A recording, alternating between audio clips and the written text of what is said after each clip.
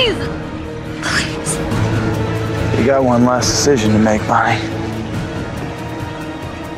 It's a multiple choice. Neck snap, heart rip, or just good old fashioned tear your throat out. I don't know who you are, but